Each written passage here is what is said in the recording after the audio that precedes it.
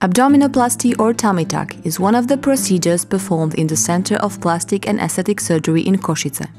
It consists in removing excess abdominal skin and fat. Depending on the demands and needs of the patients, it is also possible to tighten the abdominal muscles.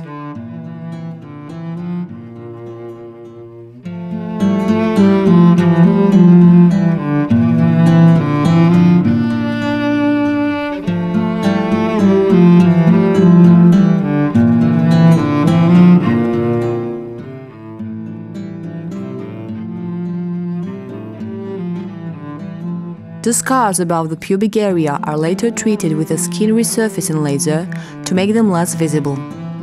The incisions are stitched and a tube is inserted to drain excess fluid from the surgical site.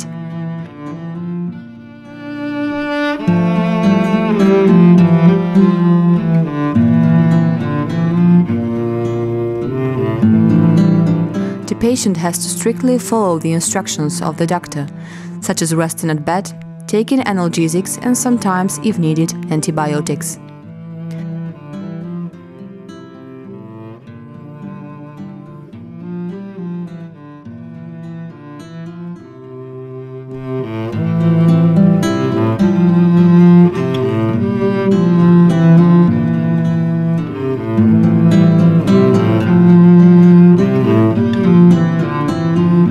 Stitches are usually removed after two or three weeks, depending on the healing process.